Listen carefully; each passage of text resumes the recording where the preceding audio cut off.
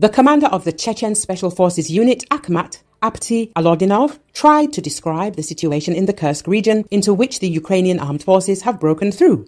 The officer told Russian war correspondent Semyon Pegov that the leadership of the Russian Defense Ministry was to blame for everything. At the same time, the youngest general of the Russian army admitted that the Ukrainian army had carried out serious preparations for the action. We calculated all the pros and cons were ready for everything. Then some of the leaders of the Ministry of Defense deceived, deceived, deceived so much that they deceived themselves. Alaudinov emphasized in a video fragment of the statement published on the Telegram channel Ukraine 365. Then the Chechen general began to fantasize, stating that not only Ukrainian soldiers had invaded the Kursk region, but also the Poles as well as the French, and that the entire operation was allegedly commanded by NATO.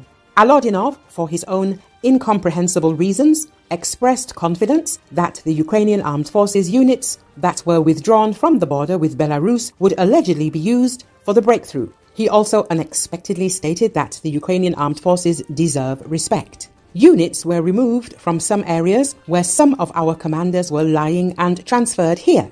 They were preparing while we were lying to ourselves, the Chechen general summed up. Let us recall that Alaudinov himself also lied to himself when he stated on August the 8th that Akhmat did not enter the battle on the border because the Ukrainian Armed Forces brigades passed by. Earlier, on August the 6th, it was the Akhmatovites who fled from their positions in the Kursk region after the first strikes by the Ukrainian armed forces. Ukrainian naval forces attacked one of the Russian gas towers in the Black on the night leading to August 10, Ukrainian media reported, with reference to Dmytro Pletenchuk, spokesperson of the Ukrainian Navy. The attack on the facility, which houses technical equipment and personnel necessary for reconnaissance, was carried out by a Sea-Baby naval drone. At least 40 people in the tower are said to have been killed. Pletenchuk said that a few hours prior to the attack, Russia brought equipment and military personnel onto the platform. There were no civilians there, he stressed. According to the reports, the fire on the gas platform has not been extinguished and as of afternoon, work was underway to put out fire. It should be noted that Sea-Baby multi-purpose unmanned surface vehicle, which can cover a distance of a thousand kilometers, has the capacity to carry 900 kilograms of explosives.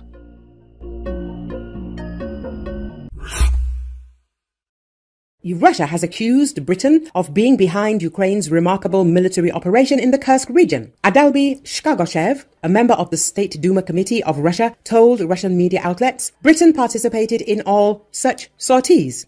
English was heard. According to the Daily Mail, former British military intelligence officer Philip Ingram said the mini invasion targeted an area where Russian defenses are weak. Ukraine has embarrassed Putin and the Russian military. They've brought the war to ordinary Russians and set the conditions for negotiations.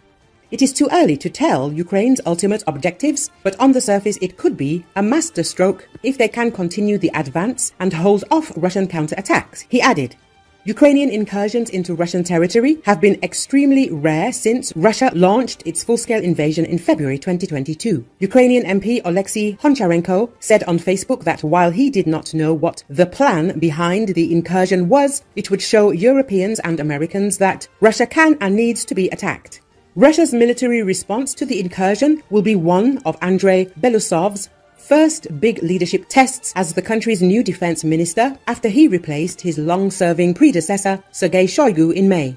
The Pentagon has expressed no concern regarding the advance of Ukrainian forces in Russia's Kursk Oblast, the Pentagon's press service reports. No, because at the end of the day, Ukraine is fighting for its sovereign territory that its neighbor invaded. So if we want to de-escalate tensions, as we've said from the beginning, the best way to do that is Putin can make that decision today to withdraw troops from Ukraine. Sabrina Singh, Deputy spokesperson for the Pentagon stated when asked about the potential escalation of tensions due to Ukrainian forces entering Kursk Oblast.